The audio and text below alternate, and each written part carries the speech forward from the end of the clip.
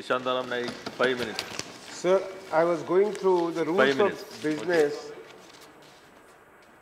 A lot of time is there. I was going through the rules of business of Government of India, and it appears that there are almost 100 items which are allotted to you under various departments. How you will you manage it? It's up to you. 100 items in under various departments. And I hope you will go as per the rules in all your activities.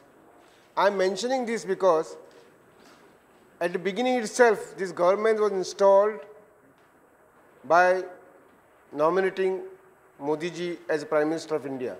But we know the procedure. Constitution provides one procedure, the procedure followed by you was different. Constitution provides that those MPs who get elected, they assemble at one place and then they elect a person. Maybe consensus, sometimes it's a consensus, as a- in our party also. But first criteria is the elected members gather together, then they elect a leader. ऐसा कोई नहीं है situation कि ये हमारा prime minister होगा ये this is totally unconstitutional you started you started government by this that's why I am mentioning this secondly rss from which you are taking inspiration he has said that one man rule that is not a concept we, are, we want to follow but yesterday in your executive committee meeting somebody has been named as empire Somebody has been named as man of the match. What is this? Who is man of the match? Who is empire? What is the game plan? Internet matters as a public. It was shown on TV. It, it Please, was, please. It, it was it was shown Please, please. it was it was shown on television live telecast. So there is no privacy. please. Secondly, in your business, we were told there will be three layers. We are told in now in the administration there will be three layers only. Please, Have you amended the rules of business Please let him come. to reduce the earlier layers to three layers? You are saying three layers. Let us know which are the three layers.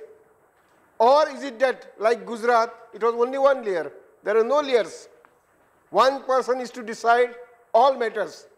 And, and therefore, therefore, in the administration, how many layers are there, you would like to know. Thirdly, sir, you are, please don't spoil my time, I have got limited time. Secondly, secondly, you are, sir, a cadre controlling authority. please, am- please. You are a cadre controlling authority for all, all India services. He is expressing his views. And therefore, you have to look after the interest of cadre and administration. Because if cadre is dislodged, your administration will also be dislodged.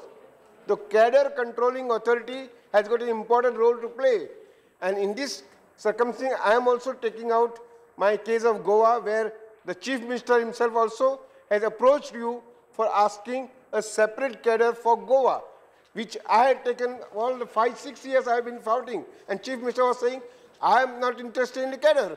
He told me here, in the minister, in the, your uh, former minister, he said that your chief minister there, that is uh, BJP, does not want, He is not interested in cadre. Therefore, how can I give you? Now, the BJP chief minister himself is interested and he has approached you. It's a good thing. So there, you kindly look after that aspect also, so that cadre of Goa is strengthened. Another thing is foreign contribution. There are many NGOs who take foreign contribution and do their activities. Fine, there is no problem. Are you keeping a watch on all those who take foreign contribution? Because in some cases we have found that those who take foreign contribution, they also indulge in anti-national activities.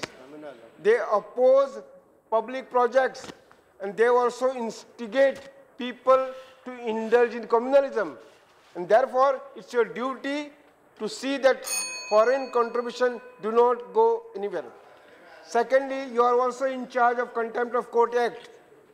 Now, sir, in days it has become fashion that anybody speaking against judges, judiciary, they are hauled up for contempt. the Contempt of Court Act needs amendment so that there is a total transparency. Secondly, Citizenship Act, you are also managing citizenship. I have listed out 100, but I'm saying not 100, I'm mentioning only few. Citizenship, can you, can you hope, can you, can you imagine there are legislators in the country who are not citizens? And if you are, they are not citizens, is it not a duty of your department to expedite the proceedings with respect to citizenship of elected representatives? Thirdly, commissions of inquiry. Commissions inquiry are instituted for various purposes. But it is, it is seen that whenever commissions of inquiry are instigated, installed, other proceedings, normal criminal proceedings are stalled and commission inquiry takes years. That Therefore, people go unpunished. I'm speaking it from general point of view. Supposing that it is said that if you want to stall any proceeding, stall any inquiry, appoint a commission. So that should not be approached. Commission scope is totally different and proceedings under criminal law Please is totally different. Another aspect which concerns you, you have brought Ram into politics. There is a law in 1988, Rajiv ji's time, it was enacted Religious Institution Prevention of Misuse Act 1988, whereby nobody uh, allowed to use religious places for, for political purposes. There is a long section which says how it violates the law. How many of your party people especially are not indulging in this? They use masjid, mandir, uh, other religious spaces for the purpose of whoever it is, whatever may be the religion, for the purpose of holding meetings in the precincts of religious institution. Therefore, that should be also stopped. And lastly, what about this Snoopgate? Who is the authorized person to authorize recording of tape, tape recording of this thing? Is it your home secretary? Have you delegated these powers to some other authority? Or is there only one person who does this taping or who authorizes tape taping? Because if it is one person, whole country, so many activities are going on. Maybe, as Digvijay Singh said, there are instruments now that anybody could go on tap- tapping. I am talking in your Thank more you. interest, more than ours. Please ensure that your ministers are safe. That's why I'm saying this.